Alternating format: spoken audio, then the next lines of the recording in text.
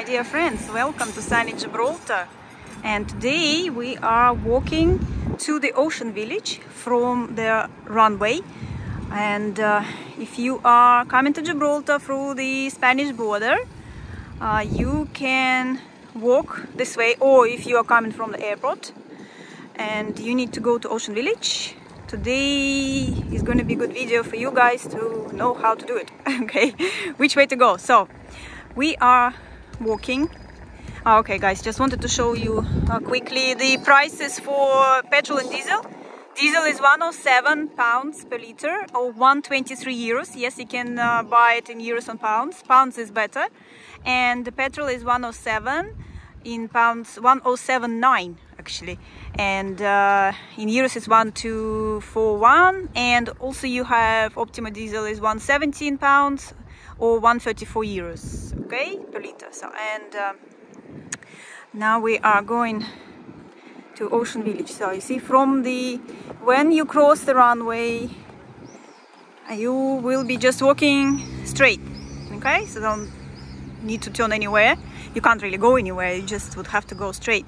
So look guys I wanted to also to show you the new bicycles lane which was opened yesterday. Yes it was uh, something like World Cyclist Day and they were working hard to open it for that day. Yes. And uh, actually it took them quite a while to build this line lane like few months. And uh, last day on Friday they were working really hard like I don't know midnight I think. They were still keep doing it to open it for yesterday. Unfortunately I couldn't come yesterday for the opening. I had lots of cyclists um, but I thought I'll come today and show it to you guys. I wanted to do it today so it's still nice and clean. So you can see it is nice and clean. And look how many cyclists are already using it. So I think it's quite nice idea actually. Um, but I have a little bit of some concerns and I will tell you about them in a minute. Okay so basically if you are not cycling but just walking you have path where I walk right now. So basically now you know you can't cross the runway by car okay? You have to use a tunnel.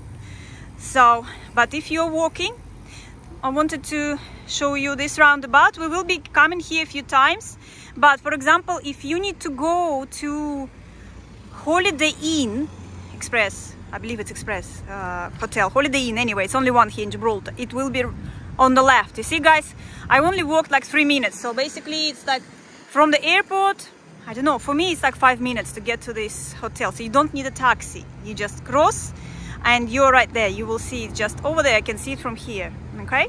So, and then if you need to go to town, you just go straight. There are two ways to get there and uh, in my other videos I will show you guys how to get there. And we will walk one way and then we will walk another way. Yes there are two different ways. And um, I didn't do videos before because there was so much work going on in this area. You see it's all open now. It's always uh, blocked. You, you could walk but it was very uncomfortable. It was very very noisy. Lots of uh, pavement work was done so they've done new pavement. It looks pretty much the same. It just looks like they uh, put the bricks back. But uh, yeah just wanted to show you a bit more of the still uh, the cycling lane. They have done this uh, new you see divergence. Before we could just walk straight over there but now you have uh, this uh, area with flowers. And to go on the other side is now that um, zebra.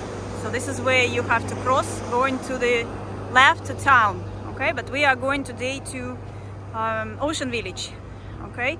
And um, so well basically here they haven't changed the pavement as you can see for the pedestrians it's exactly the same. But um, it's nice that uh, cyclist line lane is quite nice. But my concern is okay if you I don't know watched or haven't my previous videos that this on the right is the stadium Victoria Stadium. And on the left it's a school. And they are going to smash it all. Yes guys so they're going to smash it all. And they're going to build a new stadium completely with like new apartments out there with the shopping area. So basically i presume that all of this is going to be smashed. And that means that the lane bicycle lane is i don't know what's to happen to that? So uh, that was kind of interesting. And also when they will smash the school well imagine how many lorries and dirt and everything else will be going on in here. So in uh, that respect i'm not sure why they've created this lane now. Why not to actually demolish everything build new development new stadium and then put this new cyclist lane. So the logical would be in my opinion that way to do it afterwards. Because as far as I understand the stadium work will start already this year sometime in autumn. But uh, with the school you see how the area here for school is huge this is a very big project out there will be few buildings with the apartments so uh, yeah I wish they would just do everything at the same time because it usually takes them so long to build anything here. I don't want it like going on and on and on again for many years. Just do everything at the same time and that would be nice. But anyway, so Lane is here right now. Um, well, they also have a count or something which will be telling them how many uh, cyclists are going through. Well, obviously, look, they didn't finish the flower pots yet. This is a new flower pots will be here. They have changed this pavement. Uh, we used to have flower pots here, which I think is it's nicer because it's wider. We before it was very hard to walk, and uh, to be honest, I don't know how I'm going to take mom. Usually, she would go well from time to time. We go to Roski together, and she is using the mobile chair, but she can't control it. So usually I walk next to her, controlling it but now we usually would just walk on the road a little bit. Uh, but now, because on the pavement it's not very uh, easy to walk, as you can see how, how narrow it is for pedestrians. So, but uh, it's not easy for me to navigate my mom when we are going together.